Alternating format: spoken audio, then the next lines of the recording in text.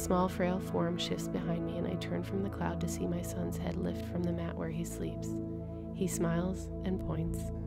Another day has begun for us, and we will see what is to come. Everything seems to move slower when it is hot. A haziness sets into minds, and clarity of thought is harder to hold. At midday, my husband returns from his work in the camp. He is exhausted and feeling unwell. I have never seen him so overcome by the heat, and it concerns me. He tells me that today I must take our sacrifice, that he is unable. This has never been my role, and he can see the alarm in my eyes. Do not be concerned.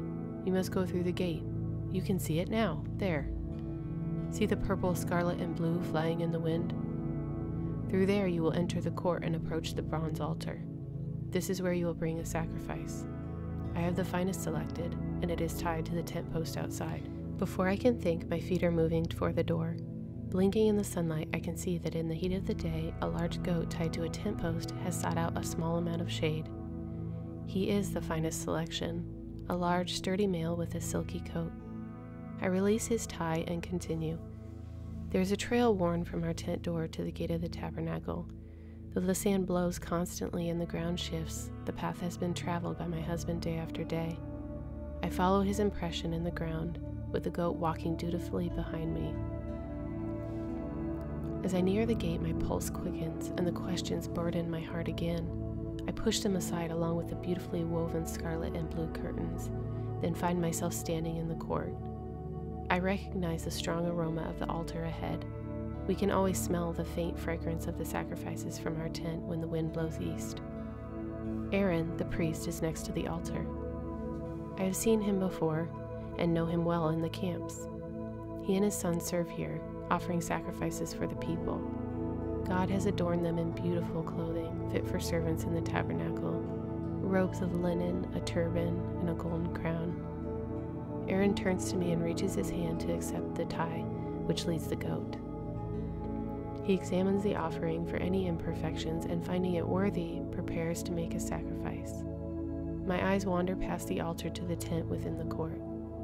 Above, the cloud. He is dwelling, always dwelling. He is before me, closer than ever before. His power I have seen. He has led us out of Egypt into this wilderness, fed us, given us drink, and dwelt among us. He has freed us from physical pains, and we have endured. Why does our God free physical bondage and leave something wanting from within? What is this need that I feel? He must know. Manna provides for our bodies, but what is lacking in my soul? He is dwelling among us, but He is always just out of reach.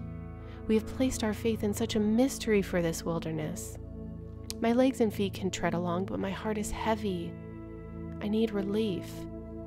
With our sickness and pain, we long for something in our hearts, for something more than where we will set up a tent and what we will fill our stomachs with. Something I am startled as a hand firmly grabs me by the wrist. I realize that in my pondering, I have stepped further into the court. In a mirrored basin, I see myself, a furrowed brow and lips still parted in the awe of wondering. Aaron holds my arm and stands firm in the space between the cloud and me. He has a fierceness in his eyes, and his hold makes me believe that he knows all that my heart desires to do. An invisible argument plays between us. In a desperate moment, I realize that this is the time to make my plea. May I go in to him? I ask quietly, but with assurance and deep conviction. He, with deep resolve and no resignation, answers me. It is not possible. He releases me and walks back to the altar where the goat still stands. Once there, he continues Want for nothing. This is as it should be. God's design is not flawed. He understands all that you are. He created you. Whatever it is within you that wants to go into Him, He designed.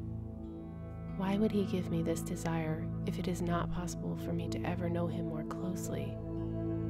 We all wait expectantly as He reveals more and more. Think of your ancestors who looked to a day when freedom would be found, and here you stand, out from the very bondage they were under for so long. Do not allow your desires to drive how you see Him working. We cannot fully see our need for Him at this time. I need Him to heal my son. I need to be nearer to God to trust His ways. We cannot see what we truly need from Him until He shows us. I see what is before me. He has placed me here to serve. Day after day, I make offerings to God. He has made it clear that cleansing for us must come through sacrifice, a sacrifice of blood. I have spilled the blood of many animals and performed ceremonies for the cleansing of us all. God has given me a similar occupation. It is the same day after day, and a life is at stake as well. Tell me, how do you carry on without defeat? It is His provision for me. We know what is required for His presence to remain here with us. His glory is all encompassing and cannot be contained in our minds. I rest in what He has given us for today I offer a sacrifice, and today I am at peace because God has shown me the way to be cleansed and dwell with Him.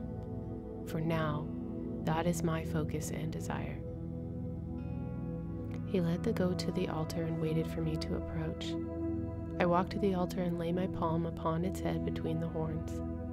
I closed my eyes and recalled my doubts and fears I felt toward the Almighty God.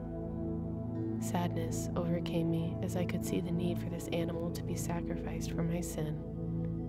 Then calm, for knowing the sacrifice was acceptable to cleanse me before him today where I stand. Aaron spills the blood of the goat. I turn and walk back through the curtain of the gate toward my tent. My eyes fix on the horizon, and I can see Pharaoh in great pursuit being drowned in a mountainous wave from the Red Sea. I can see Egypt laying vacant of any of God's people.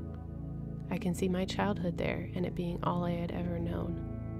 The cloud, this wilderness, my husband, my son, are all I know now.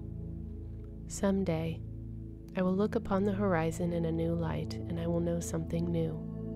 And just like today, what I know at that time will be enough because it will be His provision for me. What He provides is always enough.